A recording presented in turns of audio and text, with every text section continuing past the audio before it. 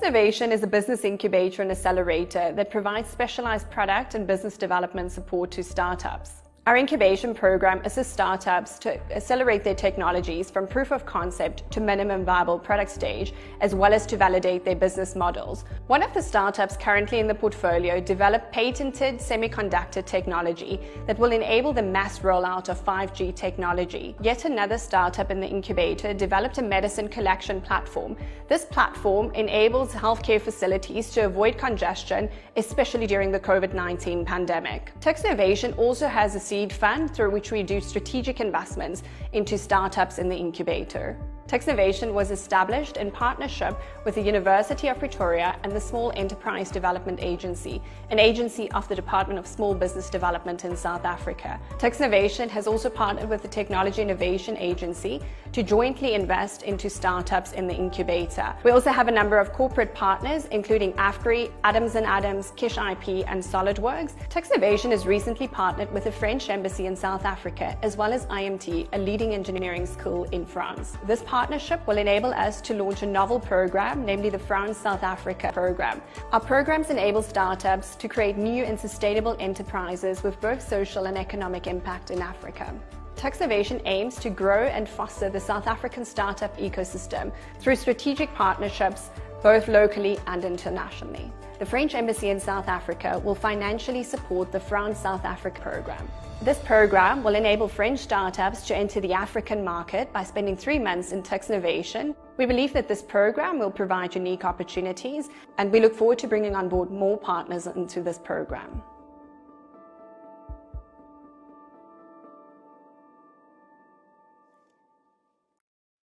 Deputy Director General, International Cooperation and Resources, uh, Department of Science and Innovation, the Vice Chancellor and Principal of the University of Pretoria, His Excellency, Monsieur Aurélien Lechevallier, ladies and gentlemen, welcome. To our colleagues joining us from France, bonjour. Bienvenue au mot de la coopération entre l'Afrique du Sud et la France, l'Université de Pretoria et l'Institut Mines-Télécom. We do hope to meet you in person in the near future when the time is right. It is a great honor for me to be the program director for this previous for this prestigious event. My name is Leago Takalani.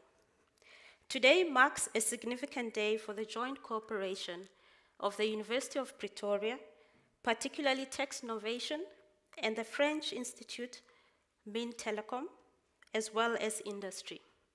Our program today is quite packed, and we do apologize for the late start. We know that there's time pressures at this point.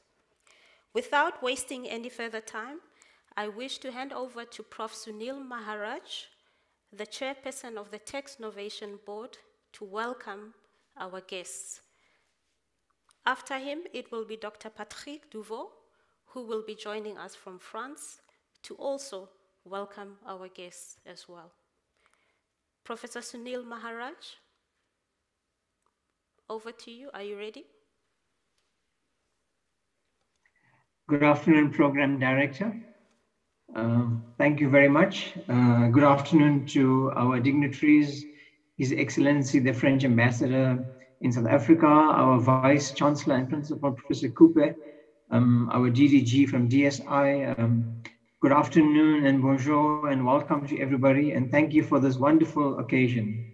On behalf of uh, TuksNovation as the chair of the board, um, and certainly uh, also the Dean for the Faculty of Engineering, Built Environment and Information Technology.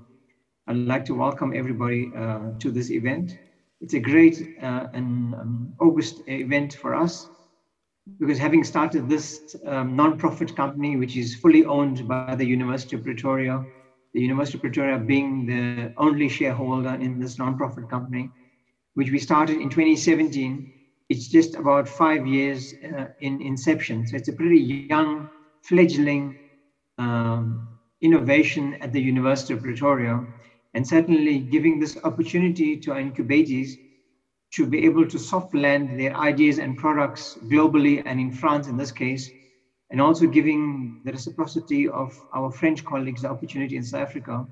For us, it's a great milestone in terms of working together uh, to take this whole concept uh, of partnering, globalizing, and of course, innovating at a different level. And for that, we are very, very thankful and also giving our young incubators, particularly our students at University of Pretoria, this great opportunity which they otherwise would not have. And we're very privileged um, for that. And certainly on behalf of my members on the board, for their sterling effort, I'd like to thank uh, the university, um, DSI, uh, and of course Tia through that, and of course um, the French ambassador and the team at IMT for working with us and having trust in working with us at University of Pretoria. And we look forward to this great partnership uh, and growing that and scaling it and going further. And thank you very much, Program Director, for your time and effort. And I wish everybody well in today's uh, event and function. Thank you. Merci beaucoup. Merci. Prof. Maharaj. Uh, now I will hand over to Dr. Patrick Duvaux, the Director of Innovation at IMT Group. Dr. Patrick, s'il vous plaît. Uh, thank, thank you very much, uh, Mrs. Uh, Takalani. And uh, also thank you, uh, Professor Maharaj. Thank you for both of you for your very nice French words. hello and welcome to all the, the dignities uh, that are gathered uh, today for uh, this very important event for uh, both of our countries and both of our institutions, uh, the French ambassador and the vice uh, chancellor. It's a really a great honor for us, for IMT, and I shall say that on the behalf of its CEO, Odile Gauthier, uh, that uh, it's a unique opportunity for us as uh, the number one uh, network of incubators in France uh, with several stages of acceleration between ideation and the market to be able today via this partnership with TuksNovation to add actually another booster uh, in the way uh, we take care of our startup in France. And uh, this missing piece of our program was, of course, the possibility for a startup to go overseas and to open international market uh, through uh, probably uh, the most prestigious and the most efficient hub in, in, in all Africa, which is, of course, University of Pretoria and TuksNovation since as we discussed together already a couple of times, uh, the idea to access this international market is uh, to leverage uh, South Africa as a, as a unique hub. So we are very, very happy and uh, we are looking forward uh, to uh, deliver concrete results and economic growth for both, both countries and both our startups. So again, it's a great honor and we are very, very happy actually to launch today together this cross acceleration program. I give you back uh, the floor. Thank you, Dr. Duvaux. Next on our program, uh, it is a great honor for me to welcome His Excellency, Monsieur Aurélien Lechevallier, as the keynote address we expect to receive from him. I wish to say that I noted from the papers that it was a very busy week for you, uh, Ambassador because I know in this week you bestowed upon some of our excellent men and women of this country the award of the Knight of Legion Award uh, to our former public protector, as well as the Knight in Order of Arts and Letters to one of our great literature writers in this country. Merci beaucoup for making the time in your busy schedule. Thank you very much program director. Good, good afternoon to everybody. It was very important for me and for us to be uh, with you today. It's a great, great pleasure. It feels that our relations and our partnership with the University of Pretoria is, is growing on a daily basis. So this is fantastic news. Uh, Mr. Vice Chancellor and Principal, uh, dear, dear Professor Kupe, um, Deputy Director General Daan Du Toit, thank you very much for always being with us uh, as well to represent uh, the Department for Science and Innovation on all our endeavors. And you know how keen we are and how determined we are on strengthening uh, the scientific research and innovation relations between uh, South Africa and, and France. And uh, thank you to, to all of you to welcome us and uh, hello to all the ones participating virtually, either in South Africa or in uh, France. The University of Pretoria have been working with uh, Institut Mines Telecom for some time, uh, quite some time, in the, the fields of uh, engineering, uh, research, and development. So I think today is a new step but based on a long-lasting uh, history and uh, an already quite strong heritage. But it's really a new page that we are writing because now we turn to the field of innovation.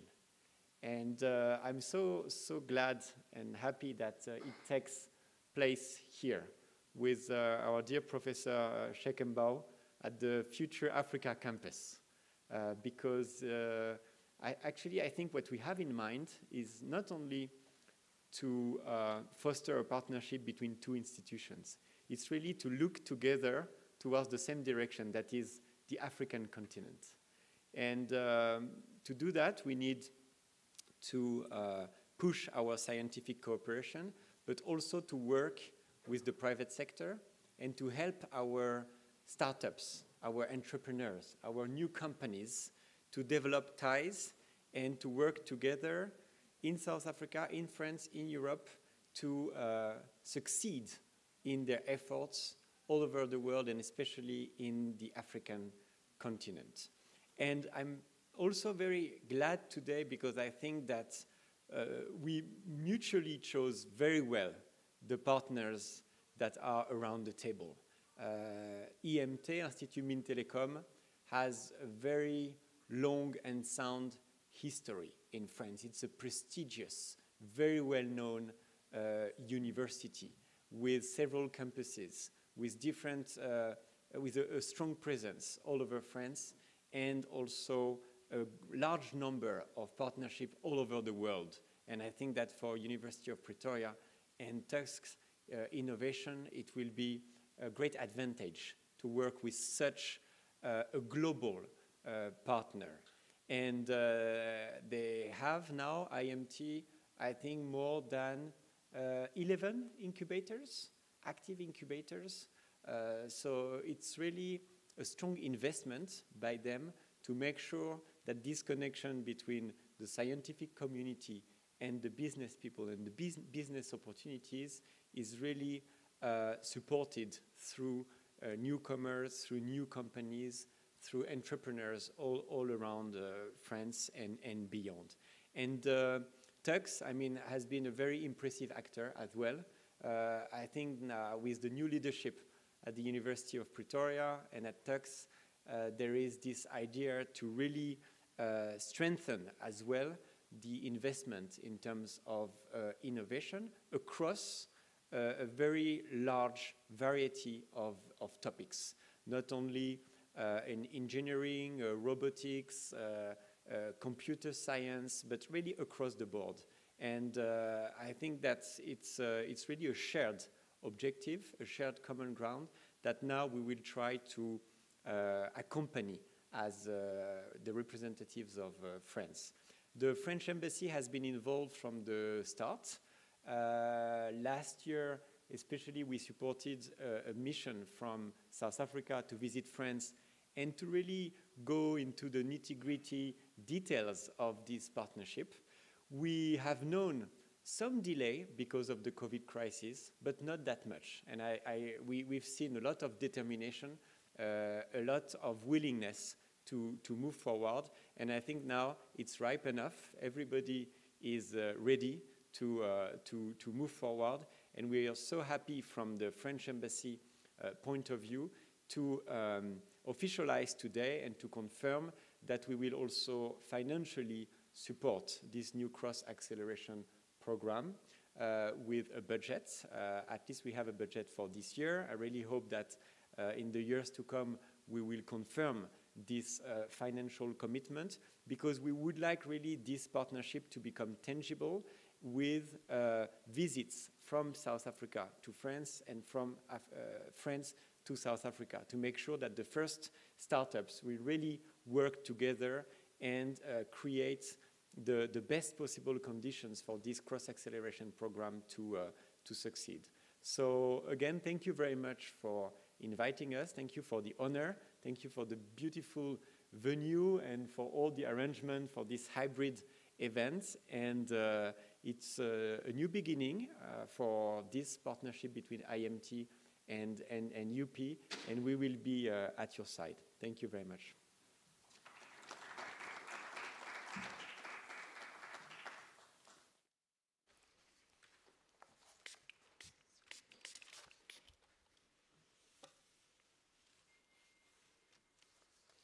Thank you, Your Excellency. Indeed, they say the startups of today are the multinationals of tomorrow. And what better way to craft that journey by cooperating between two institutions across different oceans in a journey towards making a difference for Africa and the globe at large. Thank you, Ambassador, for affirming our friendship between the countries. Okay, next I would like to welcome our Professor Tawana Kupe, the Vice Chancellor and Principal of University of Pretoria. He has been very instrumental in supporting TuksNovation as the board, part of the board, we are part of implementing the strategy towards helping startups. And it's always a pleasure to listen to you, Professor Kupe. Please. Thank you.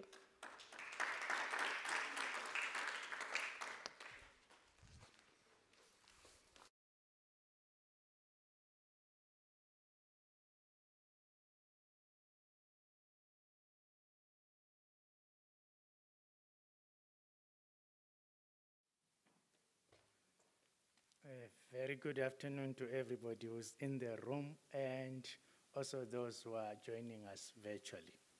Thank you, Program Director, for your kind words. Uh, I would like to welcome, of course, His Excellency, Mr. Aurélien Lechevallier, Ambassador Extraordinaire and Plenipotentiary of the Embassy of France. Uh, we consider the Embassy of France uh, one of our friends. Uh, I don't want to cause a diplomatic uh, incident because I live in the middle of a diplomatic zone, and all of the ambassadors consider themselves my friend. So if I hear that I said you are a special friend, there could be a diplomatic uh, incident. But they, they are friends and they are friends.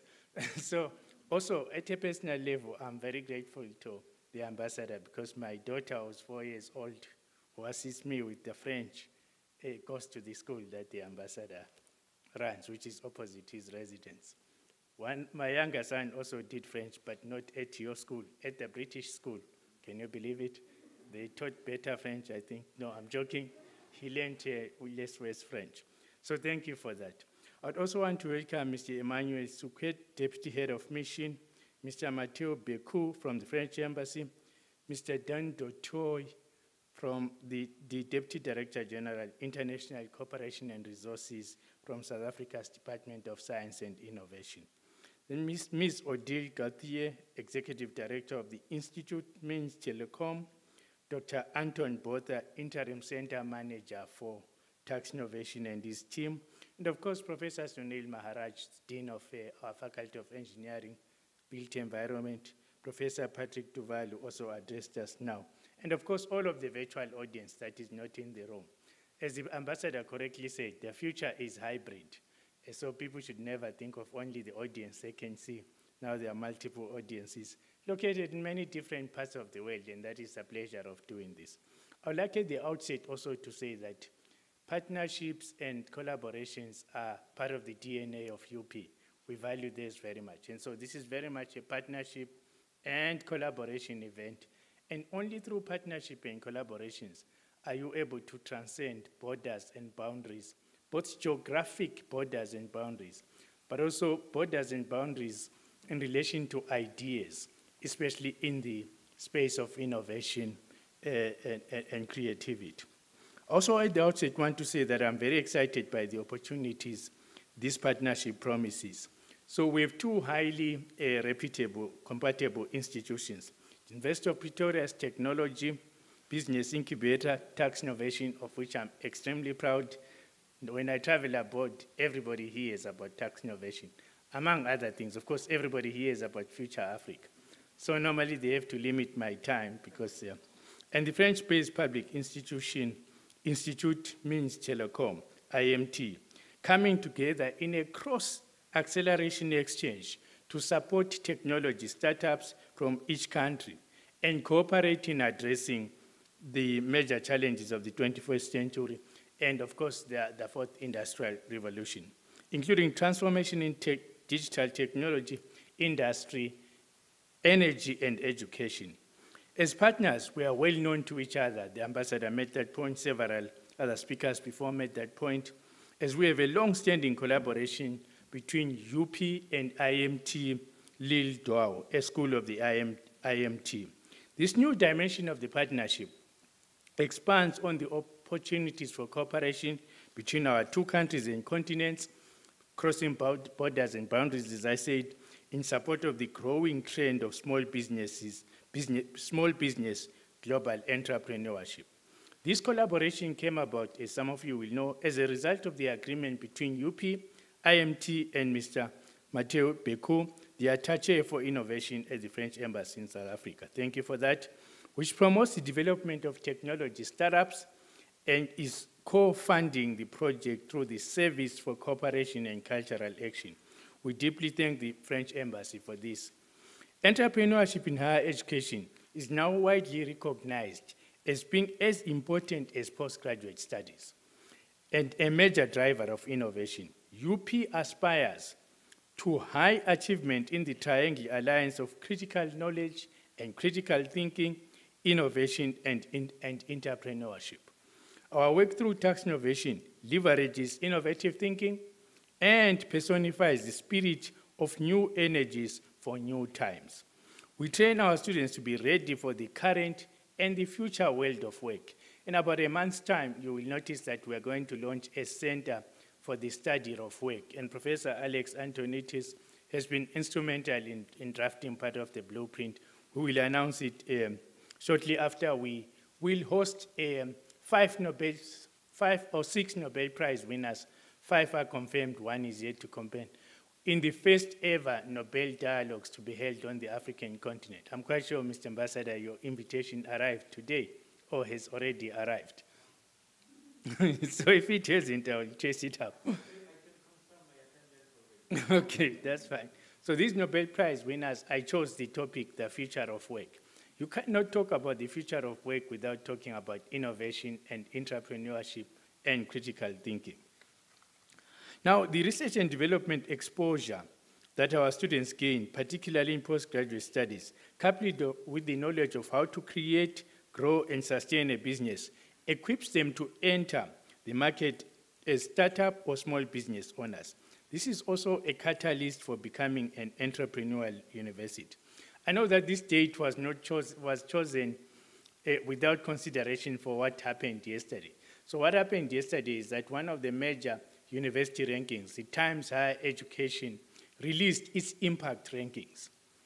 And UP is number one in South Africa and on the continent in two, uh, in two SDG. The impact rankings measure, measure performance against the SDGs. So we were, were, were in the band 101 to 200 for, you know what, industry, innovation, and infrastructure. And that is, a, that is a great achievement. Then the other SDG where we were number one in South Africa as well and on the continent is life on land. Now, you must say life on land has nothing to do with innovation. Wrong. You would fail your exam if I was your professor. Life on land, especially when it comes to agriculture, biodiversity, ecosystems, is very much technology and innovation driven. So one of the things I would like to inform our, our partners here is that on this land that you see here is rising another big institute called Innovation, uh, uh, Innovation Africa at UP. So in five to six years, when you come here, the cows will be gone. No, we won't eat them and have a braai. They are going to another farm that we own. But in that space of the farm, there will be high-tech agricultural innovative uh, uh, uh, enterprises, R&D, outfits, and all of that, representing a partnership between the private sector, including small farmers who are also small business people, by the way. People should understand also farming is as, important as manufacturing. And, and so that is also what is going to happen here. So as you know, uh, Prof. Maharaj will tell you, just directly a kilometer from here is engineering 4.0. Now, engineering 4.0 is the ultimate in technology innovation. So I would like IMT, French Embassy and others to come for a visit to engineering 4.0. And we're in our phase one is innovation in the transport and mobility space. So you can imagine then what is going to happen in this space. You're going to have Future Africa, which is already here. You're going to have Innovation Africa at UP. Engineering 4.0 is phase one. Now we are on to phase two. And then we're also going to, we also have a, something else across the road in Hatfield, the Javett UP Art Center, which is busy digitizing and also going the innovation way. So then also next door, you have um, the CSIR, you have the Innovation Hub, you have uh, the Department of Science and Innovation. So this is going to be the most innovative square mile in Africa, not the, the most, the richest square mile in Africa, which is in Johannesburg, which is a city about money, not innovation. So uh, I, I partly joke about that, but that is what is going to happen here. Add to these four factors that are central to TuksNovation, IMT exchange. The power of intercontinental collaboration in small business creation, effectively the internationalization of small business. The value of being exposed to potential partners and clients in international markets, in this case with an emphasis on African and European markets. The opportunity to participate in an eight-month incubation, virtual for now, but when possible to travel to the respective incubators in France and South Africa for two months of this period. Then fourth, the opportunity to validate the startup model in an international market to assess product market fit before committing to move into that market. Now, all of those are very important value chains. The impact this, this has on the potential to scale and accelerate the business maturation of startups and small businesses is inestimable.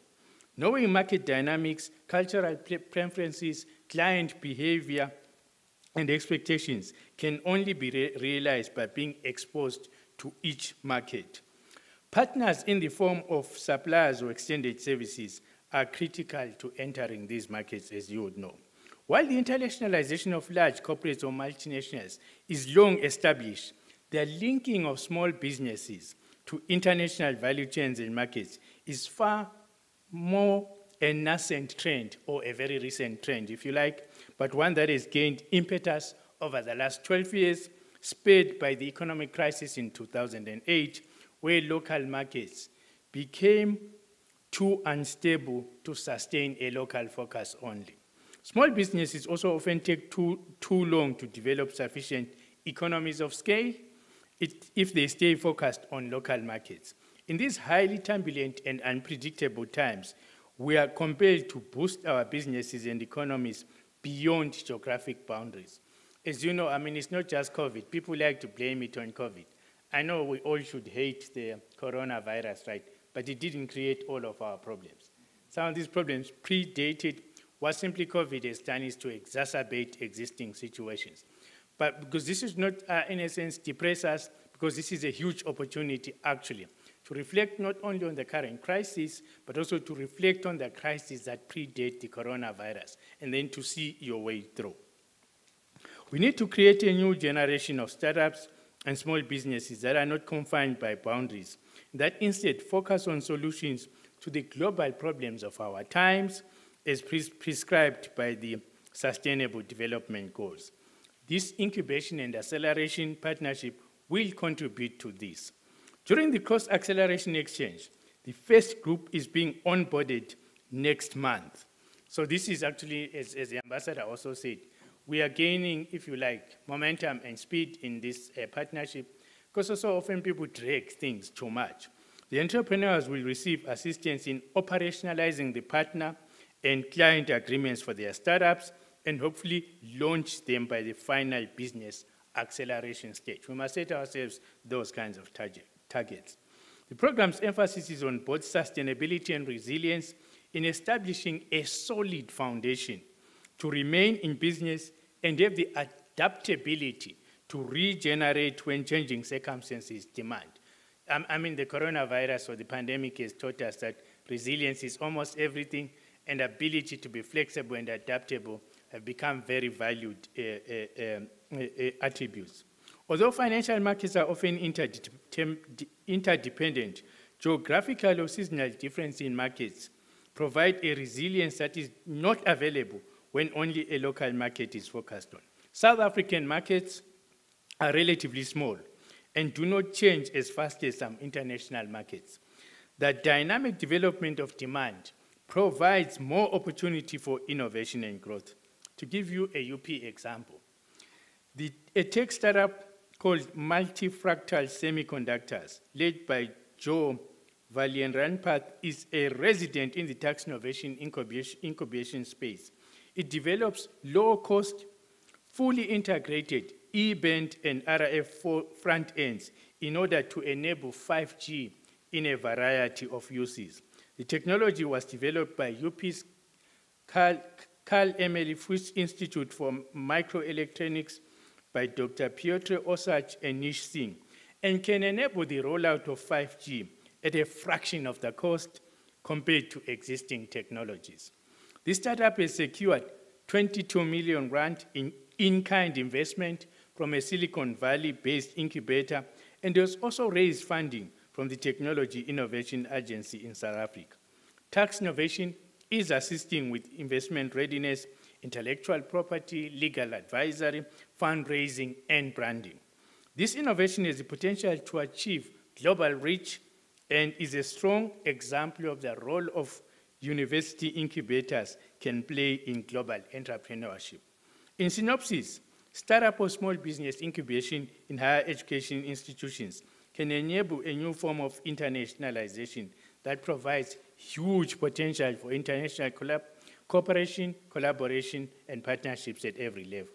A world of opportunity is open for our universities in this borderless environment, and this has been turbocharged by digitalization.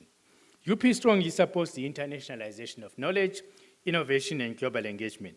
About 44% of our research, of the research we conduct is done with international collaborators. So for us, this is not new, but what is new, if you like, is that we want to scale up that uh, to much higher levels. The massive ad advantage of collaboration is that it enables universities to take giant research and innovation leaps by building on each other's areas of expertise. In, in, in this case, to leverage international opportunities in the marketplace. Uh, I could go on around like, uh, for this because this is a very exciting topic. I also happened to go to school to, in, in Cuba to be taught public speaking by Professor Fidel Castro. I was one of his leading alumni. But when he died and they read his will, he said, stop talking for too long and sit down. Thank you very much and thank you for your time.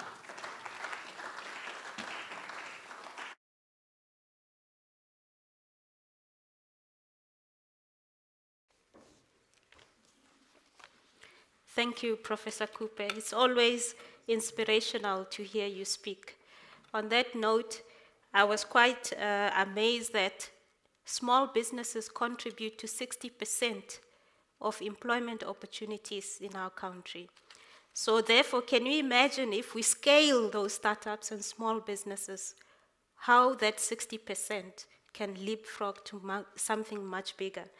And uh, Professor Kupe talking about awards, I wish to challenge His Excellency that I read that the uh, Knight of Legion Award also covers scientific research, startups. So I hope next time when we meet, you have a spare medal in your suitcase. They will be awarding some of these startups that award for the impact they make. Okay, thank you. Uh, now I wish to welcome the next speaker uh, from the Department of Science and Innovation. The first time I met uh, Deputy Director General Mr. Daan du Toit was in Belgium 10 years ago. Uh, we were on a mission to the European Commission to talk about technology and look at other options of cooperation between South Africa and the European Commission on technology. The lasting impression I have of Mr. Daan du Toit is that he is an engineering diplomat. He always finds a way to find the politicians and the engineers to talk the same language. And I'm really pleased to welcome you on stage. Thank you.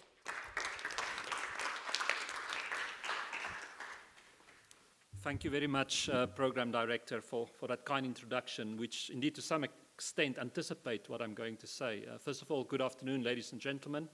My first task as representative of the South African government is to bring to all of you, those gathered here in Tshwane and those connecting remotely, the very good wishes of my minister, His Excellency Dr. Blayton Nzimande, South Africa's Minister of Higher Education, Science and Innovation.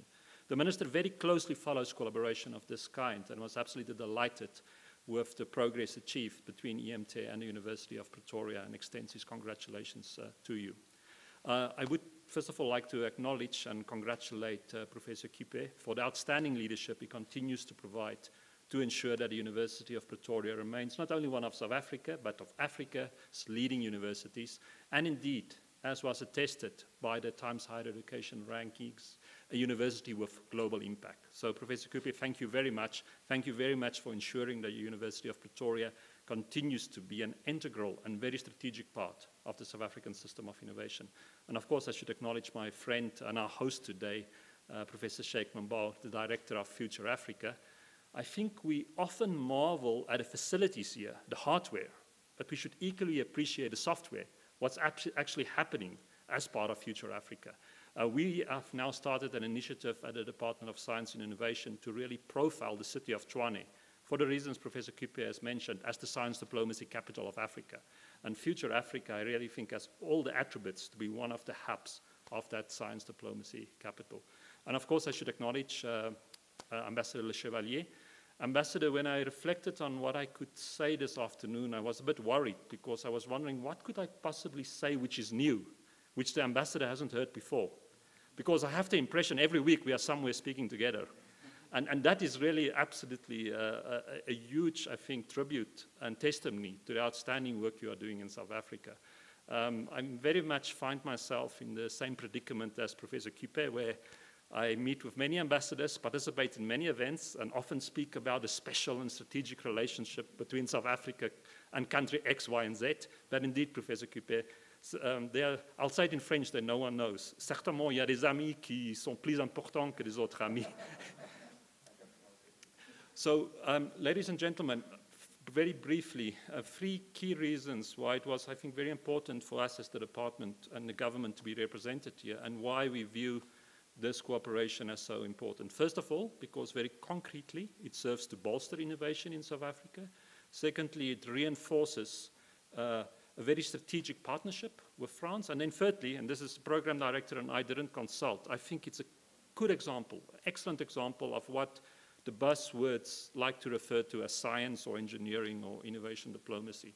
Um, first of all, at, at the department and, and, indeed in our government, we're in a very crucial phase now of policy formulation for the next 10 years of science, technology, and innovation in South Africa. Three weeks ago, our government approved the first draft of the new decadal plan for science, technology, and innovation in South Africa. And this is going to very much set the policy, the strategic, and the funding direction for science and innovation in South Africa. And all the elements of the program, which is being launched today, find expression in, in, in, in that plan.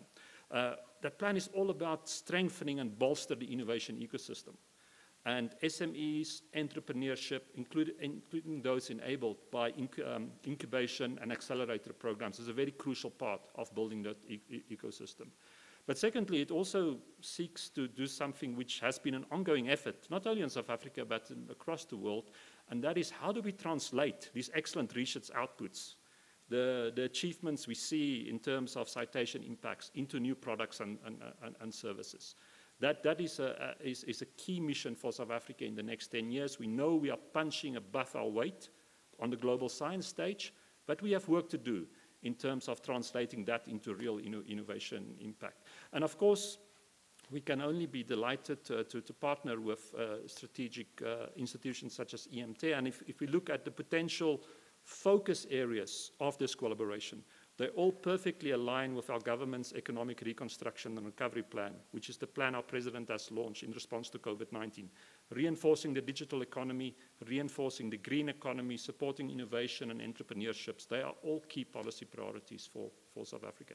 But secondly, this is just another element which, as I've said, reinforces a very strategic partnership with France. There's long-standing political, economic, and cultural relations.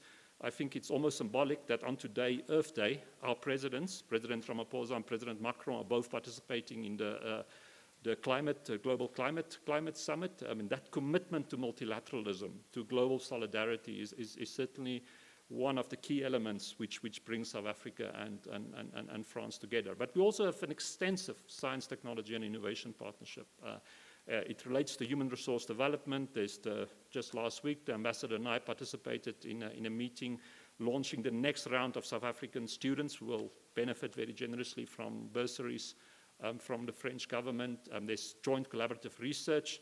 We are very privileged that uh, French institutions such as CNRS, IRD, and CIRAD have representative offices here in South Africa. Uh, and indeed, the, the, French embassy have a considerable arsenal of human and other uh, resources to su support uh, our collaboration. Also, very importantly, I should always mention that because that's a flagship um, program for, for South Africa. The French government has now agreed to join the Global Square Kilometer Array Partnership, um, which is the, the program to build uh, the, the, the, world's largest radio telescope in South Africa.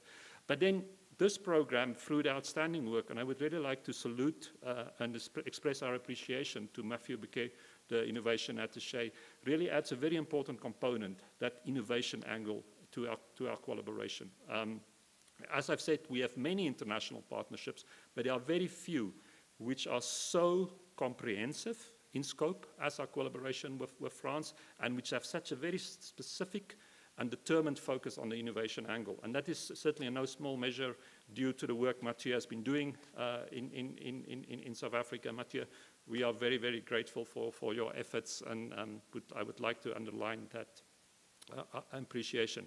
But, but then just to conclude, as I've said, it's one of the policy buzzwords. No matter where you go, you will find people speak about science and, and innovation diplomacy. And I think what we are doing today put actually that buzzwords in practice. Because, because first of all, of course, you need diplomacy, international cooperation, to enable collaboration in science and innovation. Because we all know that science and innovation progresses when we share experience, when we share uh, expertise, when we learn from each other, when we make joint investments. And it's this international cooperation, diplomatic instruments, which enables this very important collaboration. But also science and innovation is increasingly an integral part of the international diplomatic agenda. I just I refer to, to um, climate change, but whether it's energy security, public health, COVID-19, food security, uh, the fight against inequality and global poverty, that all requires a decisive contribution from, from science, science and innovation. And it's, it's also the collaboration as the one we are launching here today, which will bring our entrepreneurs, our startups together, which will make that contribution for unleashing the potential of innovation to contribute to global challenges. But then the, the, last, and this is where I was very worried because I always end with this message, and ambassadors probably heard it 10, 10 times before.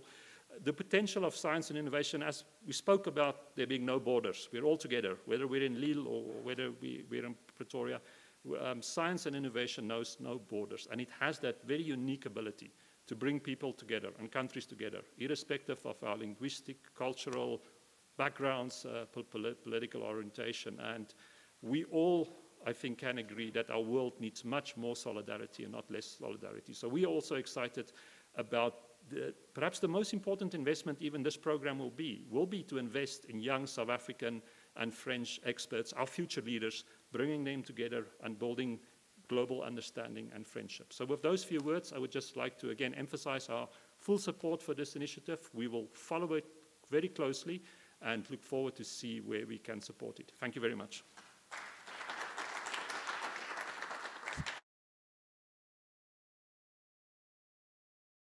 Mr. Danny du Toit, you remind me of another diplomat from Africa that went to the UN, the late Mr. Kofi Annan. His words, he once said, um, there is no better tool for development that is more effective than the empowerment of women. One of the SDG objectives is to promote equality, and what better way to do it than to put women as part of the journey of building any economy and startups. On that note, I wish to welcome Madame Odile Gauthier, who is the Executive Director for IMT. And I wish to say to uh, Dr. Patrick Duvaux, then felicitation, you have a woman in your organization. I'm truly proud of that. On that note, please can we stream the video of uh, Madame Gauthier?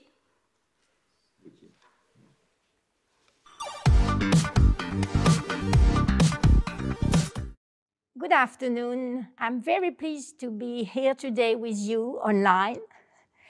What is Institut Mines-Télécom?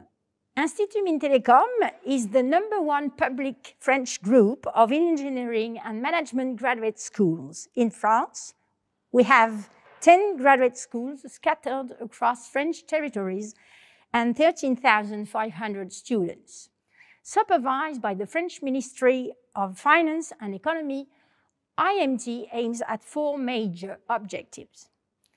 Training both at graduate, postgraduate, and PhD level students that will be business oriented both in hard and soft skills. Unlocking the keys of future technology with top level research, contributing to economic growth with a focus on local territories and companies, and fostering innovation and entrepreneurship. Several key differentiators and figures make IMT unique in France and Europe. We are multidisciplinary at the crossroad of three shifting transformation, digital, industrial, and environmental. We have a world-class research with 1,800 A-plus publication per year and more than 1,000 PhD students. We have outcome-driven partnerships with a lot of companies, big companies, small companies, worth up to 70 million euros per year which is around 20% of our budget. And finally, cutting edge discoveries are important for us, and we have around 50 patents filed per year. Institut Mines has an international DNA. Campuses are multicultural, and more than 30% of our students are international. Curricula enable students to connect with top-level international professors and to have significant international experiences. IMT aims to be a prominent player in African growth and to contribute particularly to digital transformation in Africa. We are present in Africa through several partnerships, in Côte d'Ivoire with Polytechnic National Institute, in Burkina Faso, in Senegal with a bachelor degree with a management school and an EduLab for advanced training methods, and last but not least, in South Africa with University of Pretoria. Institut Mines Telecom is a French champion in innovation and entrepreneurship. IMT is the first French incubators network with 11 sites across France a stock of 170 companies and 80 new startups launched every year. We raise for our startups more than 100 million euros each year, and our startups are boosted by our research and technology driven. We have a success rate of 87% after five years. Besides being highly selective, our incubators network success is based on seven boosters from ideation to market that startups are provided with for free. R&D proof, technology proof, soft skills needs, proof of concept, market evaluation, business plan and investment aspects, and scale up and internationalization. IMT Lille originated the collaboration between Institut Mines Telecom and University of Pretoria.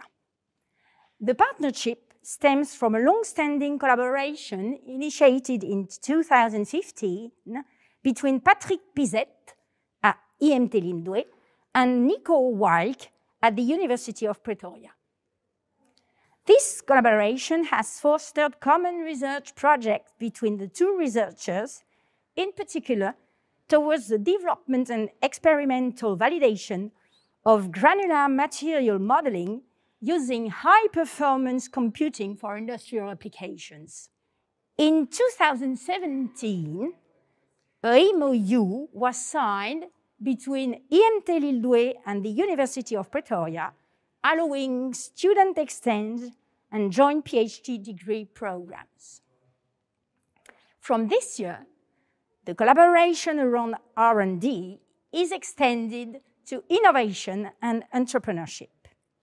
It will now include the participation of all the incubators of IMT schools. I am confident that this will be a great opportunity for all our startups both in France and in South Africa. Thank you and good afternoon.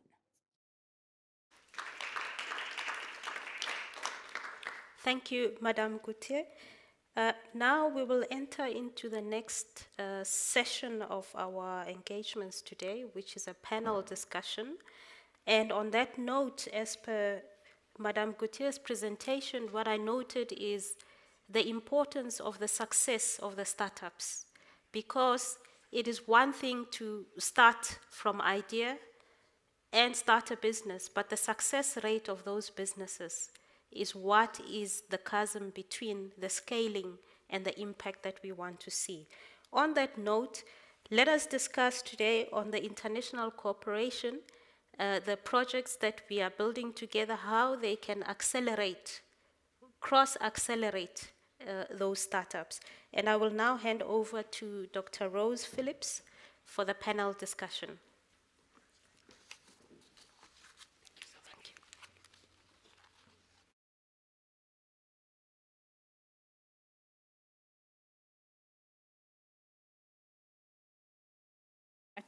Um, yes, I will do that now.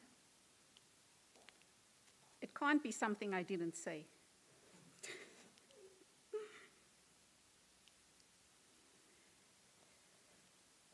so, our program director, thank you very much. Um, for this opportunity to speak here on behalf of the University of Pretoria and on behalf of um, the school in Sandton, where the money is made, um, GIBS, Gordon Institute of Business Science. Um, unfortunately, His Excellency has left, but um, Vice Chancellor Kupe, members of uh, IMT, colleagues uh, from the University of Pretoria, distinguished guests, those in person, and of course those joining us online. We've, we have less time, unfortunately, here in this panel than you would have to defend your doctorate. Um, so we're going to have to go through this quite fast. But having said that, we do have an opportunity here in this session now to really have an intellectual debate, a debate really about the role of the university-based incubator.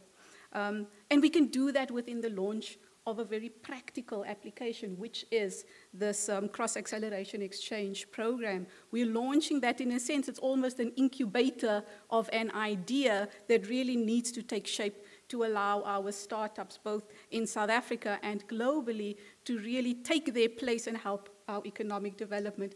As program director said, 60% of economic development sits with our small businesses and with our startups. Um, they are an, an, integral part of the future of our continent, certainly, and the future of our world. And, and I hope that this debate that we will have now in the 30 minutes that's been afforded to us is not a debate that stops here, but it's a debate that continues a debate around how do we remove the friction that might sit in institutions like universities? How do we ensure that in the world where you need to be agile, you need to be fast, you need to deal with um, intellectual property quickly um, and not be left behind? How do you find the right vehicles that allow you to do that and stay, stay ahead of the game? And so, with that in mind, the question that we are going to be debating is the university based incubators, specificities, and main challenges. What role can these incubators play in the development of international cooperation projects? And I have joining me here on the stage, you've been sitting here for a while, sweating and smiling at everybody. Um, we have Dr. Anton Botha. Thank you very much for being here, acting center manager for TuksNovation of UP. I will also use TuksNovation multiple times, just like our VC has asked us to do. Um, Ms. Samantha Castle, thank you for being with us, Senior Manager Alumni Relations for UP, and of course, Professor Alex Antonites, Head of Department of Business Management um, which is so important when you talk about technology. What about the human factor? What about business development knowledge? So, so thank you for joining us. We had one other gentleman that's supposed to join us. Unfortunately, looks like he's not able to join. Online, we have Online. Dr. Jean. Oh, are you online?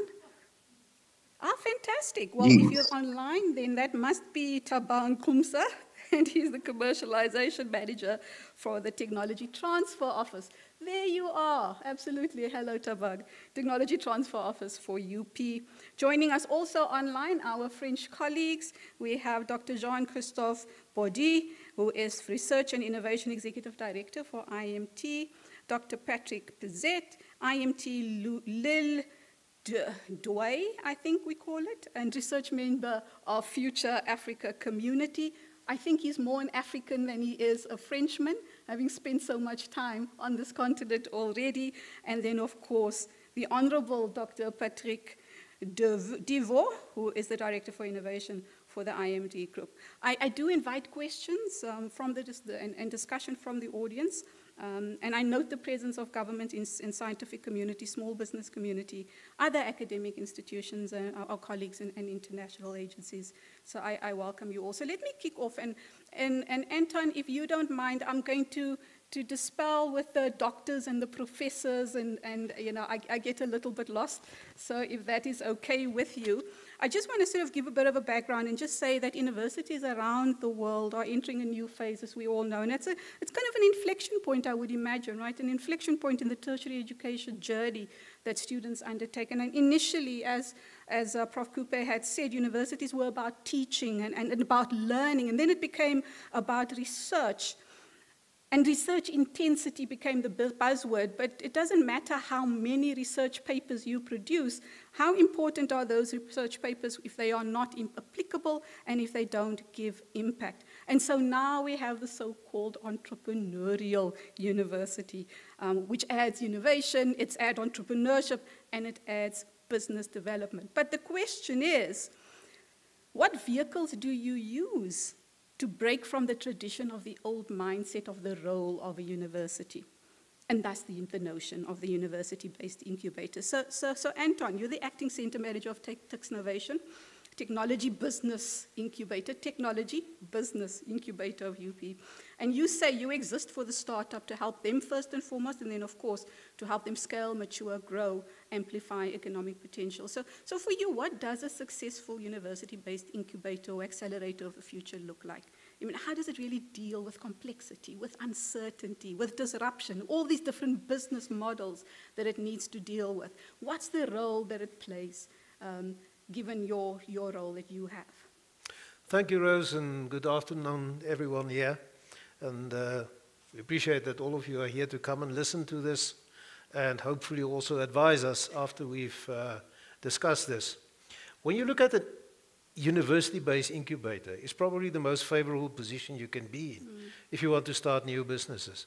Because we are sitting on a wealth of potential talent that can go through the business pipeline, as we call it. Um, we just have to choose the right ones and we have to combine them in the, in the right way. But you talk about uncertainty, you talk about um, complexity and how difficult it has become out there to create business. The thing about an incubator in university, at least the way we do it in TuksNovation, we see ourselves as a startup business that regenerates itself, renews itself all the time. And if you look at the future, we will have to make sure that we follow the dynamics in the market. So it's about flexibility. Uh, but it's also about the associations you have.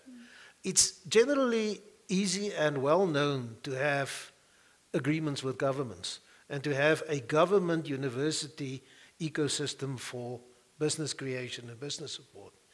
Uh, the one we are still struggling with, I think, is the one where we can have an industry university um, ecosystem for business creation. And the one thing that we've identified is that you should try and bring companies in earlier in the whole evaluation, not evaluation, in the whole value chain of, uh, of business creation. And that means right there at the ideation. If at the ideation point you can actually bring the entrepreneur and the potential client together, you can shorten the, the, the, the, the track you can uh, step up the pace, and you can then try and avoid something which I call the uh, chasm of failure, the valley of death, is when somebody has got a beautiful product, but they don't know how to get it into the market. And, and, and it's about not pushing your technology over that launch gap, but it's about pulling it in. So if the partnerships exist already, it's fine. The, the emphasis on technology-based incubation and then going through to, do you only look locally? Obviously, there are opportunities, and it's very good to focus on something that's close by. But the whole purpose of this is to understand that even a small young startup is part of a global market. Yeah. And this is where we have to get it into, into future. You have to focus and you have to bring together um, in our case, the focus is technology based. Mm. Some incubators focus on markets, but you have to bring together a whole cluster uh, of, of small businesses that build up a strength. And that is part of the future direction you can give as an incubator. But it, it, even though you say um, it's technology based, which is really what TuksNovation is about, it is really about accelerating the technologies, and especially the emerging ones artificial intelligence, blockchain, um, Internet of Things or the Internet of everything nowadays. Um, but it is also about the markets, right? Because that is what the incubator is providing, is about the markets. And I, I keep talking about the role that universities play, the old mindset of what the role of university is. And I think when you talk about bringing industry in, I, I think that industry still suffers from that notion of the relationship that they have with universities, which is also a traditional one, right? A, a relationship of learning, a relationship of teaching, Sure. maybe some relationships of research and development. That takes two years to produce something, and the world Yeah. has moved on to something else already. And you're now saying we've now taken something a little bit outside of the university. It's very entrepreneurial. It's there for the startup industry. Come and join us. And I think the, the, the uh, alignment there is that more and more companies are starting to look at being innovative themselves mm. and to do what we call corporate incubation or corporate acceleration. And if you can actually combine what university incubators have and what industry needs in terms of also incubation advice to industry and not only to startups, and, and join them together, your chances for success are much higher. Absolutely, the whole is always greater than the sum of the parts. Dr. Dr. Patrick Duvaux, if I could ask you to come in here, Director Innovation IMT, more than 20 years experience actually with international business, and I just want to latch on to what Anton is saying. Also, holder of 67 patents, so maybe you can also support us here. The question I'm going to ask a little bit later about intellectual property, because I'm very, I'm, always very aware of can we be agile in a university? Because agile, agility, speed is important. Disrupt or be disrupted. But I want to ask you a question with your experience of developed world entrepreneur, internationalization of entrepreneurs, um, and what you see in developing worlds. I mean, you've worked in Japan, you've worked in China, you've worked in India, you've worked in the US.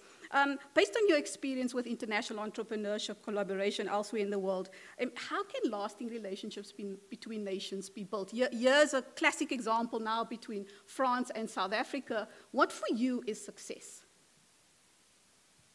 Well, th- thank you uh, for your very, very sharp question. Uh, even it's a, even if it is a tough one, actually.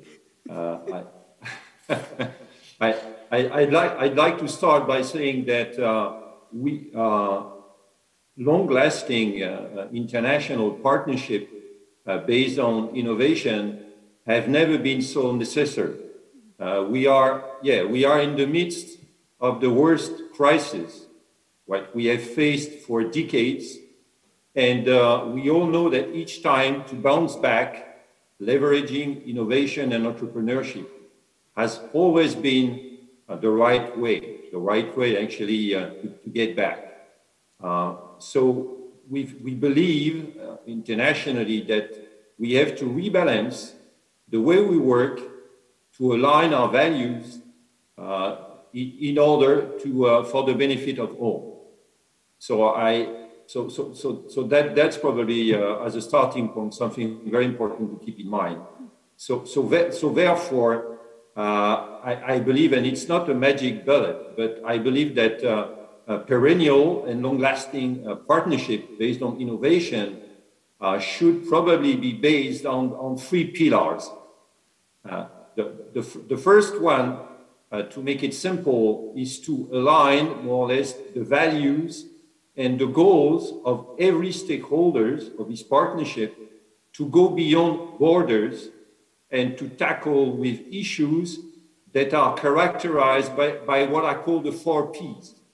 And the four Ps are people, planet, prosperity, and participating government.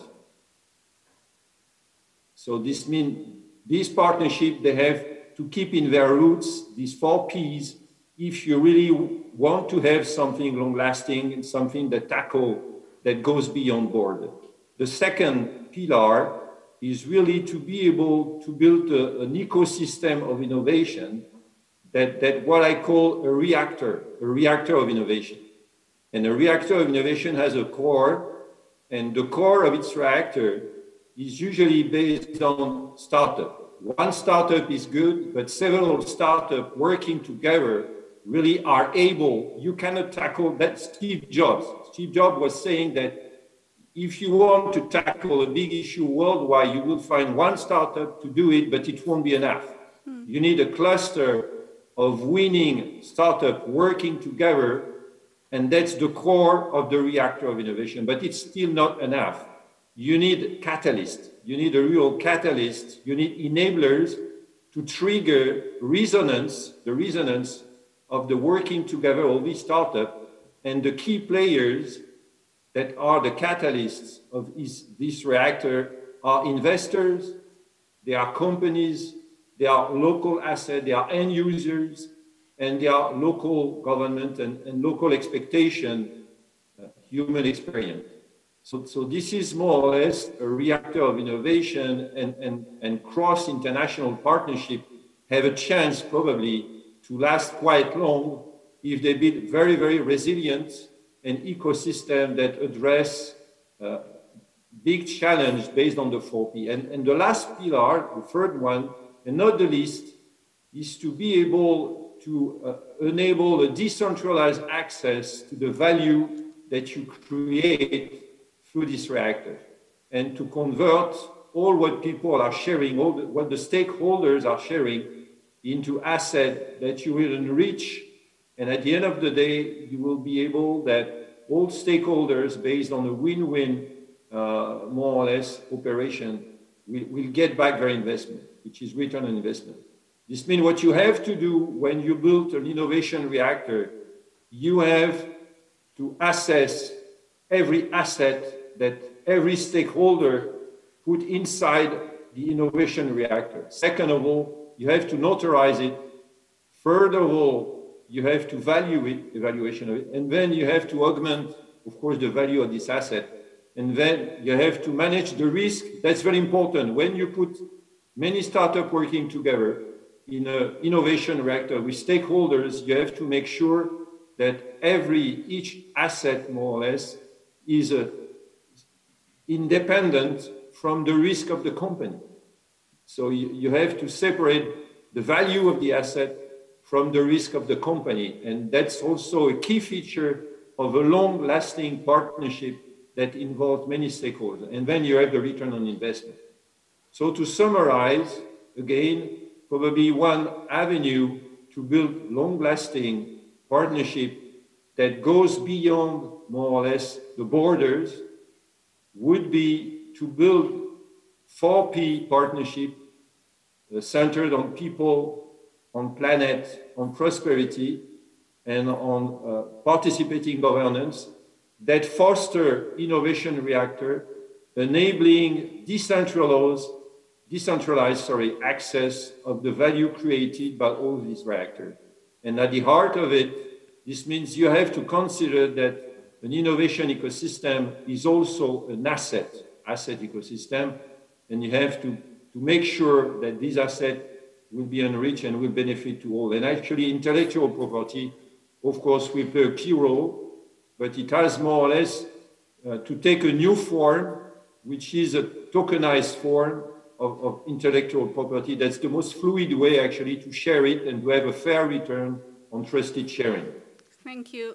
Thank you, Dr. I, I um, it's always so difficult to stop someone that has been at this for over 20 years. You've got so much to, to impart for us. And I think that's also the beauty of having collaborations like this because the idea of the collaboration is not just a competition where the best entrepreneur or the best startup goes overseas and goes on an exchange program. There's also the learning behind it or the learning that gets put into making that incubation work um, that comes from the experience that is shared between the likes of Tuks Novation and also other institutions, academic institutions in South Africa doing the same thing, and, and the likes of, of IMT. Thank you, Patrick Duvaux. Um, it reminds me, IMT stands for All Together to Imagine and Build a Sustainable Future and to train key stakeholders who will build this future. And that's clearly what Patrick has really been sharing with us. Prof. Antonites, I want to turn to you now, um, talking about markets, talking about people, planet, prosperity, participatory governance, the ESGs, we're on Earth Day. We're talking about the technologies that we provide to startups. We're talking about the innovation ecosystems that get developed between various participants, in this particular case, France and South Africa. Um, an entrepreneur is someone that takes risk. It's, an, it's, it's somebody who is proactive knocks down doors, don't uh, experiment, doesn't stop. It's somebody who's innovative, who thinks laterally, who thinks creatively. But there's also more things to that than really what makes up a successful entrepreneur, a successful startup. So many of them don't even make it beyond the first few months, much less beyond the first year. So I want to ask you, in an entrepreneurial university, how should multidisciplinary business development be promoted and supported, specifically in light of what we are doing here in terms of an incubation and a, and a cross acceleration program between two nations? Thank you, Dr. Phillips. Um, I think the modern uh, entrepreneurial university's business model asks for and requires um, an enhanced collaboration between uh, knowledge capital, like our research output, and, and also entrepreneurship capital, which is continuously that, that, that aptitude to continuously or propensity seek new opportunities, new markets, and um, exploit them and add value to socioeconomic or have socioeconomic impact. It's also a, a model where, or university where there's a rather seamless flow from knowledge creation to commercialization or innovation at the end. And that's complex, especially in public universities. It's a complex process because you need a very strong entrepreneurial mindset embedded in, in your organizational culture and your DNA. And also important, you need a, a very productive or efficient enabling space that hampers, that's, that's not hampering um, you know, the commercialization process by means of bureaucracy and so on. So easy flow from idea to market. And in the body of knowledge, in terms of this, I have to be a bit more academic. Um, in Entrepreneurial University speaks about the three rings of the Entrepreneurial University, the research, the teaching, and entrepreneurial activity that is applicable to individuals, the organization, and the environment, the system. And it's become very popular in the global HE. IMT is a very good example there. Now, that brings me to your multidisciplinary question. Uh, answer there is it all starts with individual mindset, cultivating individual entrepreneurial mindset Entrepreneurship should be present in all disciplines, the awareness of that. Whether you study medicine or media studies or, or med- uh, engineering, it should be there. That's where we start because it flows into entrepreneurial orientation, it flows into intent, and intent is something we can work with. It's an idea, or it's a model, it's a plan, there's market potential. And um, this is also very difficult because we, we work with 65,000 students and more. And at the University of Pretoria, we have a very unique online program for all our students for free in entrepreneurship. And for staff as well, I'm always worried to say that we actually want to retain staff, not get them to start business and leave the place. but um, this is probably one of the only universities in Africa offering for free a, a 10 week program just to create awareness. And that should flow into our ecosystem, support ecosystem, of which TuksNovation is a leading entity in entrepreneurial support and enablement especially, especially in the tech space. And, and that will only lead to scalability later on um, if there's access to market and, and finance, which is part of the, their core offering there. Now, lastly, if you look at this campus, it's, it's actually the, a very good metaphor of the entrepreneurial university, the product of that. You see a lot of design thinking and, and creativity that that was part of the process, yeah. A lot of entrepreneurs. Hmm? And, and you see cows. Yes, yes, cows is later. That's a, an agri-entrepreneurial process. It's coming. Um, and also, a lot of entrepreneurs were involved in physically building this, this, this beautiful campus, also uh, creating jobs. And now it becomes a knowledge machine and uh, uh, Cheikh's leadership. Yeah. And it's a transdisciplinary machine. And we will only see the commercialization, or, or rather say innovation, later in terms of market uh, capacity, market exposure, and so on. So this is a very good example of what we offer at, uni- University of Pretoria in terms of thank, that context. Thank, you, Alex. I, I see that program director standing up already, but I have so many more questions still to ask. And I thought that we have um, a few more minutes for question and answer, in any case. So if I may continue for a little bit. Um, Five minutes. I, I, don't know how we're going to do five minutes, ladies and gentlemen. We're going to have to do this when we do the winning participant. And uh, when we have the winning participant, maybe then we'll have a continuation of conversations. But I don't like to, uh, I think as ladies, we want the lady to say something. I, I think so, right? Yeah, I, I think so too. So, um, Samantha. Samantha, Senior Manager, Alumni Relations. Um, talking about staff and talking about students and talking about alumni. Um, this is a powerful tool we have here, this uh, university incubator. But you also sit on a very, very powerful tool as, as well, and that is our alumni, both locally, internationally, whether they are starting big businesses, have big businesses, have their own networks. How do you think that the alumni network contributes to, to, to the incubator, specifically TuksNovation, or this particular cross acceleration program? Thank you so much, and thank for inviting me. I think oftentimes I just want to start by saying that oftentimes the, we kind of overlook the importance of the role that alumni plays within partnerships like this, and especially about accelerating entrepreneurship and building a ecosystem where um, entrepreneurship flourish at universities. So thank you so, again for inviting us. Um, alumni role is very, very important because remember, alumni has a very close relationship relationship with this institution. They have gone through, they have the experience of studying here, they have the warm relationship, hopefully a very good experience with the institution, and then they go out to do amazing things in the world.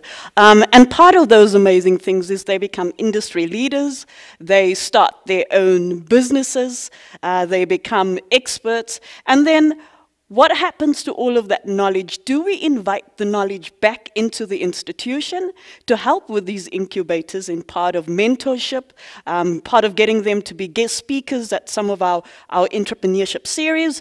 And then more importantly also, how do we invite them to play a role around access to finance, which oftentimes they have access to. Um, and just to give you two examples, perhaps, is two uh, recent case studies. So a, a, big part of the work that we do in the Alumni Relations Office, um, we work very closely with our Vice Chancellor around the strategic goals of promoting this institution as also the innovative entrepreneurial university. And we definitely strategically seek out alumni that operates within those spaces.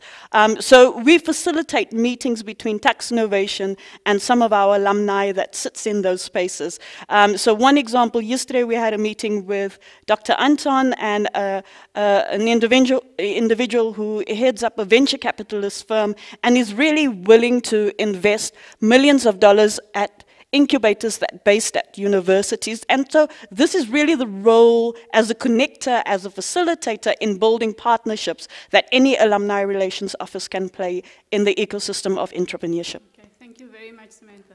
I, um, I, am not sure, I, I, want to, there's a question here for, um, from the audience, and I would like to ask that question of Anton, if he allows us to because I can't answer this question. I have no idea. So.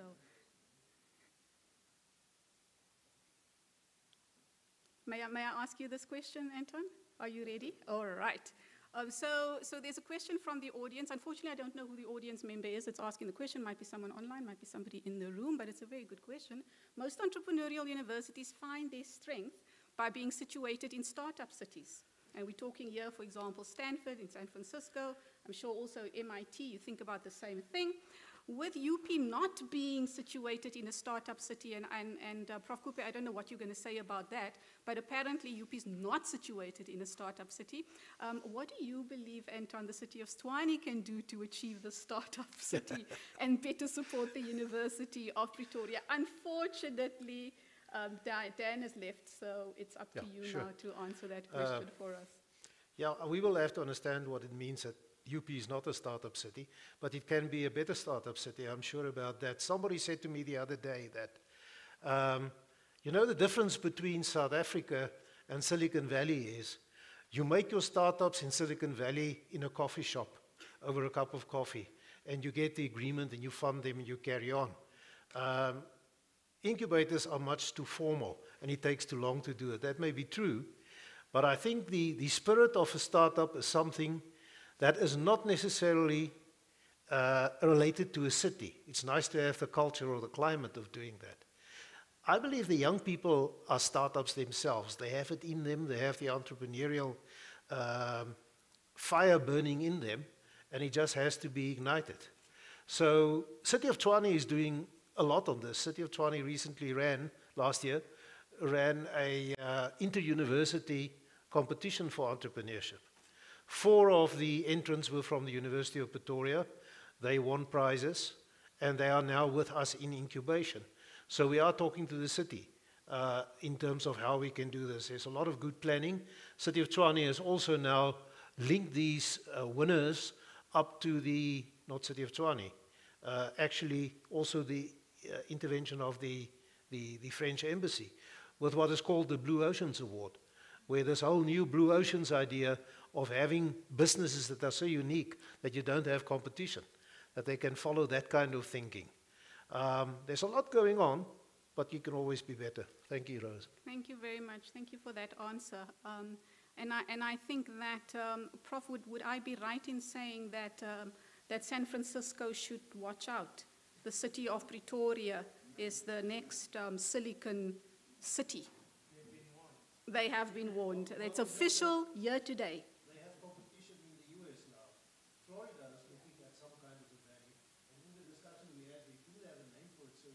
Alligator Valley. and then we said, but what would the city of Tshwane be? And then the suggestion was make Crocodile Valley. No, no, no. I, I, I think that it's Jacaranda Valley. I think it's all about purple flowers. Thank you very much for that. Um, I do have until 10 past. Um, I don't have another question, but I do have uh, my fellow panelists um, um, online, and unfortunately, you are not going to get away with it. I am going to ask you a question. So, um, Dr. Jean-Christophe um, Baudy, you're the Research and Innovation Executive at IMT Lille Douai, process engineer, environmental scientist, um, and, and Douai is between Paris, Amsterdam, Brussels, and, and, London. So very, very well placed right in the middle of everything. So for you, I'd like to ask the question, the, the commercialization of research and innovation is really what drive university business incubation. So, so can you tell us in your experience, how can international exposure to partnerships and clients, understanding global value chains, et cetera, et cetera, how does that lead to multinational presence? Um, if you don't mind, uh, I will start with uh, an example in, in sports. Uh, when I was in Australia uh, 10 years ago, uh, my, my colleagues tried to, to teach me cricket. Uh, I must admit, I did not understood the rules. I tried. I tried to understand. I watched games. I went on the fields, and I finally gave up uh, and I went back to, to rugby. Uh, what I mean is if you intend to access to, to foreign markets, uh, your product must be, must be in line with what your customers are looking for. Uh, you have to discover, to understand, uh, to be in line with the foreign culture. culture. Um, if you want to, to disseminate your results, uh, you have to ensure they will be adopted. Uh, and still, uh, still making a parallel with sports. Uh, if if a South African startup wants to to hire, uh, let's say, an athlete to help him to grow his business uh, in France, um, it's better to hire uh, Siya Kolisi rather than Quinton de Kock, for example. And uh, to, to go further in my career, I had the opportunity to work uh, in France, in Australia, in Luxembourg. And I would say the mixing of culture is a very, very uh, fertile melting pot to think out of the box and, and to consider uh, the market uh, through multiple angles. But you do not have to to forget uh, the country you you intend to to land on uh, has its own culture. Uh, if I make a comparison between Australia and Luxembourg, in Australia, innovation is mainly seen as a breakthrough, uh, while in Luxembourg, it's mainly incremental uh, innovation is uh, adopted step by step and trying to be very pushy in Luxembourg, uh, it will be a disaster, you will fail. Um, I know that because I made the mistake. Uh, I did not fully listen and observe the locals. Uh, I tried to uh, to push my ideas to to develop uh, breakthrough research, and it was a it was a total failure. So uh, if you try to to develop your uh, your business through your own understandings of what the market is, you will not go to, to the top. So um, I, uh, because I know we are uh, short on time, I just would say that uh, if you want to uh, develop multi multinationalities, um, multinational presence for your for your business, uh, don't be afraid uh, by multiculturalisms and be open-minded. Uh, what is uh, the culture of the country you're you intend to develop your business? Thank, thank you. Um, I really do want to give the audience a chance to ask the questions, although I do have some more of my own. But if I can maybe venture into the next one. Um, question here, and, and, Anton, unfortunately, it looks like it's all coming to you. Um, what do all the partners in this collaboration intend to achieve? I can ask you and Patrick, but just to make it um, quicker, if I can ask you to maybe just um, say a few words. What is it that we intend to achieve through this cross-acceleration program? And now we're talking about beyond just economic impact. What is the universities getting out of this? Um, I think Patrick should answer that one for us. A short answer from me. Uh, strong, independent, um, disruptive, young startups that matter anywhere in the world. But Patrick, please, if you can fill in. I love that. Thank you. Yeah, okay, it's okay. Uh, actually, uh, Dr. Phillips, if you could repeat the question because we had really hard time uh, to, to, uh, uh, to hear what you are saying uh, for about the last 15 minutes. Oh, my apologies. I have to speak right. No, no, it's fine. It, you know, technical. It's Murphy's law, always. Um, so if you, if you could just repeat the last question, I, I would be very happy actually to, uh, to answer it. Yeah, and it might very well be the last question, so um, choose your answer very carefully. This is the thing that we will remember. What do all the partners in this collaboration intend to achieve through this cross acceleration program? And now we're talking about beyond the economic impact. So, really, um, Anton has said to us what he believes TuksNovation and what UP will achieve through this. Maybe just a final word from you what IMT will achieve through this. And I, and I think it might be a question that comes from another university who also has the idea or already has their own university based um, incubator what do we want to achieve beyond just economic impact? What's the benefit to the university?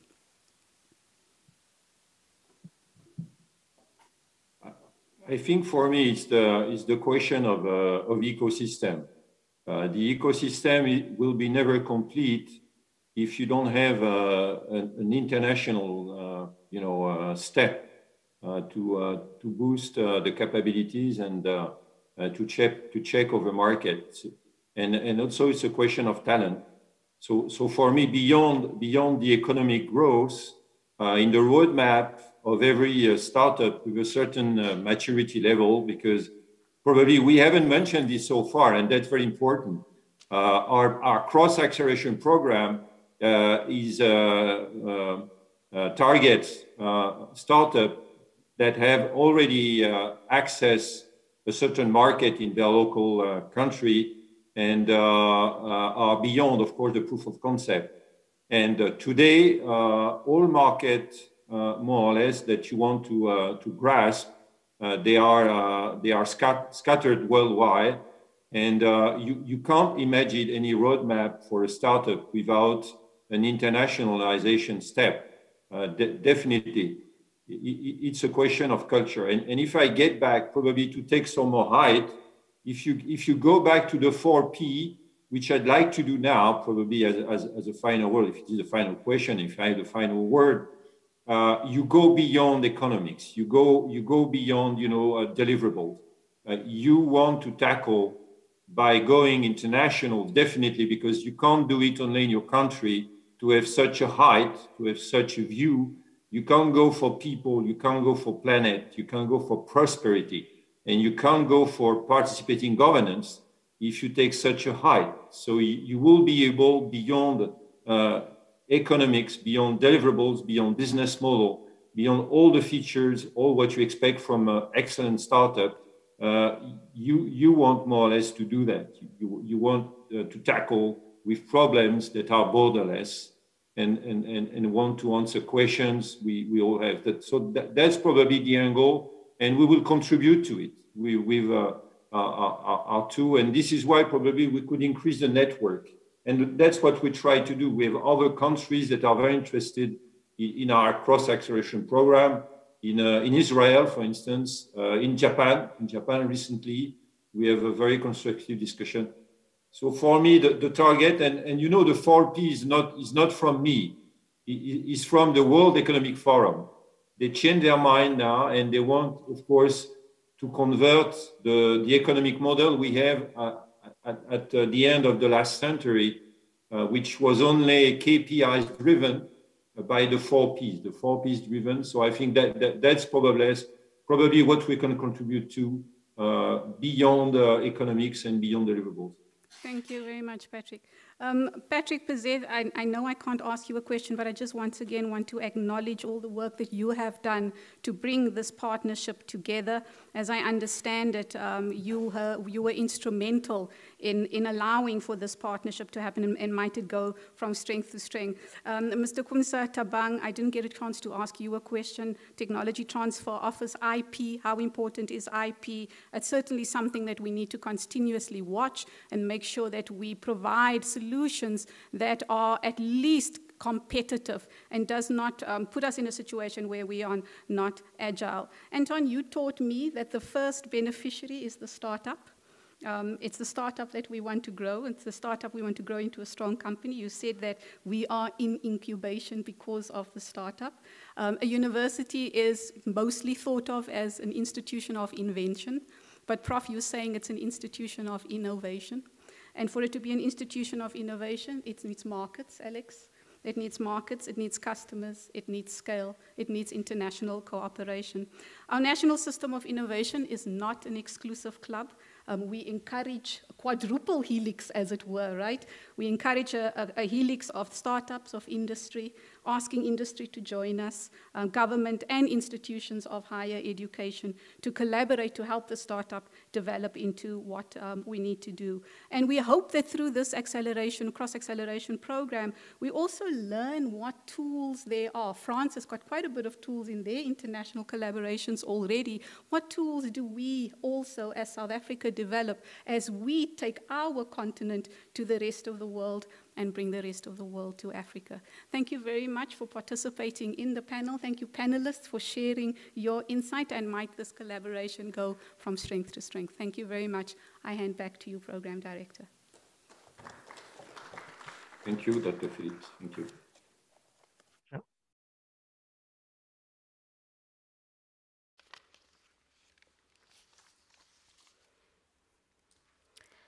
Thank you, ladies and gentlemen. That was really a very, very fascinating panel discussion.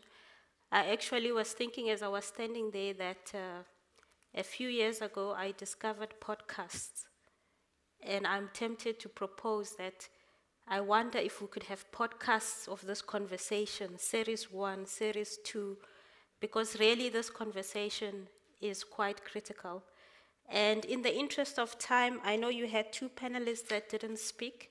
I wish to give them just 30 seconds each to say one or two sentences to close the thought. Uh, that is for Dr. Patrick Pizette as well as Thabang. Yeah, please, if you just 30 seconds, say your final word, let it be final, and it will be final and we'll extend the debate to the podcast. Please go ahead.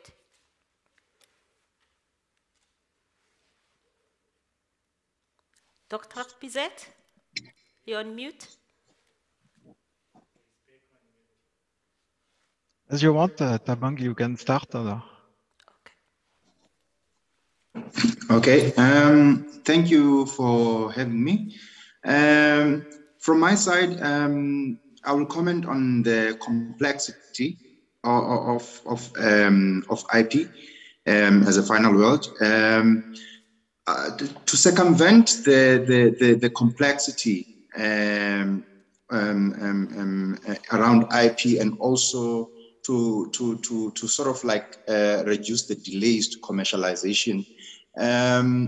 When it comes to collaborations, uh, there needs to be um, research and development uh, collaboration agreements.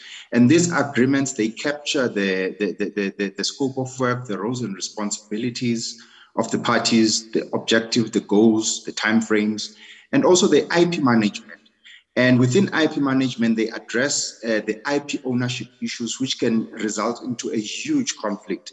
Now, with IP ownership, uh, parties can agree in terms of what contribution they make, and according to that contribution, um, uh, it determines the, the, the, the, IP ownership and also influ- that influences the benefit sharing when it comes to royalties when the technology has been uh, licensed. So the key is uh, research, uh, research, and development uh, uh, collaboration agreements because they circumvent th- that that complexity. Thank you. Thank you, Thabang. Thank you very much. next. Okay. Is Dr. Patrick Pizette. Yeah, so I would like uh, to to thank uh, everybody. Uh, so we start uh, the collaboration now five years ago with my colleague Nico Wilke and also with Nicoline Govender, who was uh, uh, finishing at that time his thesis at the University of Pretoria. And it's very a great pleasure to see how the cooperation go after five years and to be here at the round table and for this event. So I think that uh, for us uh, it's very important to work uh, to have balanced relationships in order to have long-term collaboration. And um, in, uh, we, we focus our, our energy to focus uh, not much. What is very important for researchers, I think, is not uh, focus um, on the, about individual interests, but to things to and to push our energy on much much higher than uh, the research individual interest. And um, for us, I think also um, it, was very important uh, uh, to have um, a place uh, uh, as the Campus Future Africa, where we have international students and company and institutes. And I spent several months as a visiting professor in the place of Future Africa his wife, uh, if he uh, stays in South Africa and uh, was uh, one of the best experience of my research life uh, and and my life. And I would like to thank in particular uh, Daniel Nicola Wick.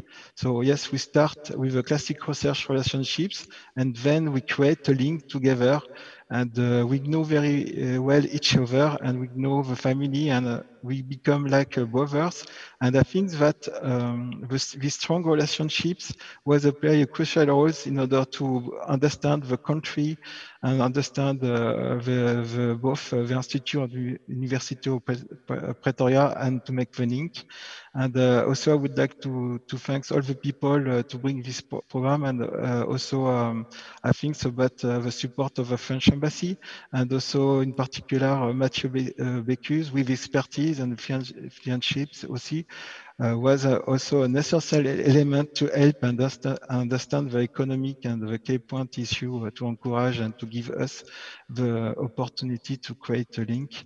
And if I have just the time for, uh, I think that the, the, the, challenge of this program is, uh, from my point of view, is um, uh, the South Africa as a role for entry point into Africa continent and um, for for um, the South Africa uh, has a good infrastructure, good support, and uh, is a more familiar setting from the Europe, Europe point of view.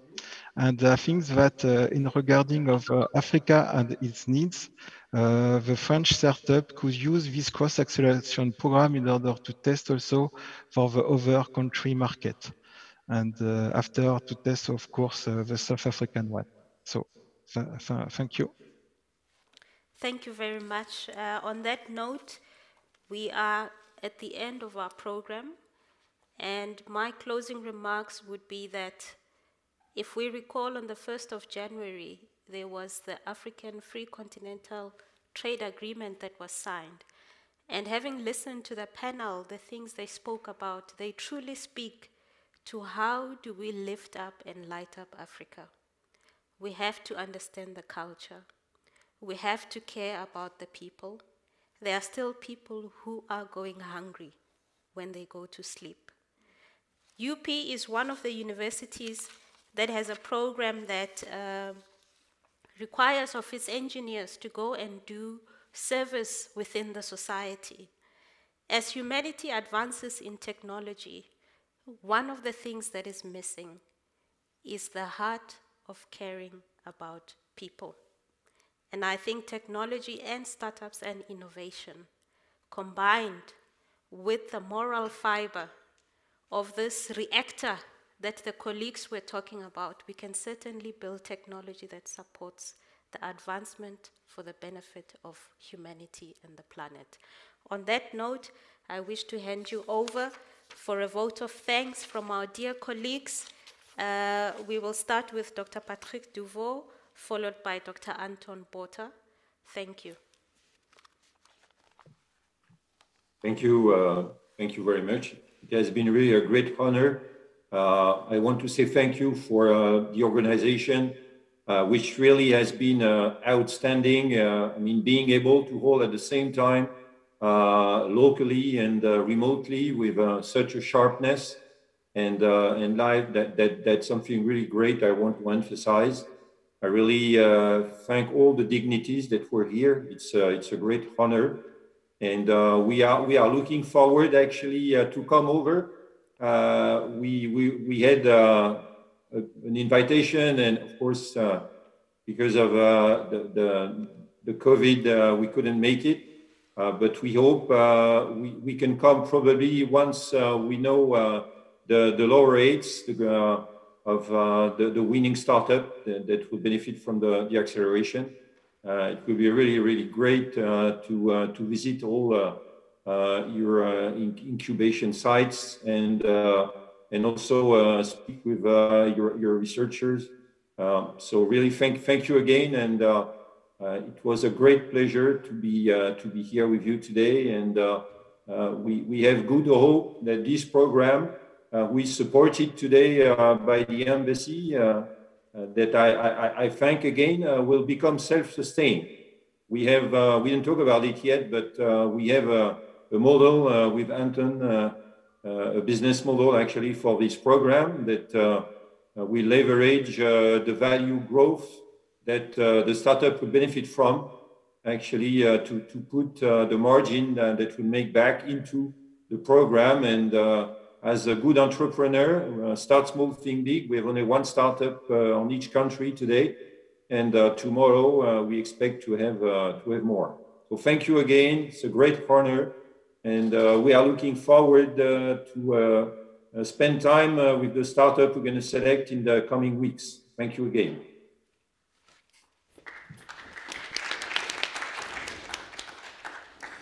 You know what I've, I've just been thinking about it. We've actually achieved the first deliverable of the joint program. We've put something together here, spoke to each other, debated, and we were not in the same country. This is exactly what we want to see happening in terms of people working together. I'm not going to thank any individuals. Patrick Duvaux did uh, mention a few people and organizations, and I, I will uh, stand with that. I think it's about teams. Uh, there was the team at IMT and the team at Pretoria University that put this together since January when we spoke the first time. Um, the DI8 team, our TuksNovation team, Louis and his team, thank you very much for putting up a splendid technology link for us. Uh, it, it just worked out right for us. It's the team of panel members in France and here with me uh, on the stage that put their minds around these things. These are people that we speak with on a regular basis not only when we have an event like this, you help us to think about these things. And then so capably managed today, Liagu, by yourself. And Rose, thank you very much for getting the conversation going. Uh, if we can, we will fall back on you again uh, just to make sure that we also spread the message and that we have these discussions. Uh, Prof. Kupe, thank you very much for uh, uh, supporting us all the way to do this. Prof. Job, thank you very much for this nice um, Future Africa facility. Um, our hearts are warm if we can get together like this. And hopefully next time the room will be fuller and we can touch and feel again. Thank you very much. Thank you, ladies and gentlemen. Uh, we have officially come to the end of our proceedings. Uh, just some notices before we uh, leave. There is some refreshments that uh, we have prepared for you. We would really be honored if you could stay. It's also an opportunity to interact with you and engage with you. Also, there will be a group photo. I stand to be guided as to where the group photo is going to be. Okay, I believe it's going to be here. So before we leave, let us please take the opportunity to, to take the group photo.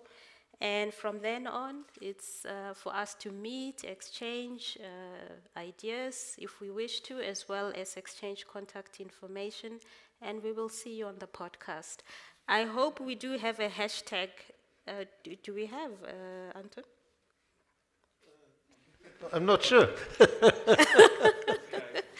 So perhaps we should create one because this is also part of being ambassadorship of this program, especially for me also sitting on the TuksNovation Board. It's really exciting to see young people so passionate. They just need that reactor to accelerate them, you know, and uh, really if we can get more of the word out there, we definitely will make an impact uh, for our country and also the globe at large. Thank you very much. Thank you. Thank you, Dr. Thank you very much. Thank you. Thank you. Thank you, everybody. Thank you. Thank you. I hope to meet you in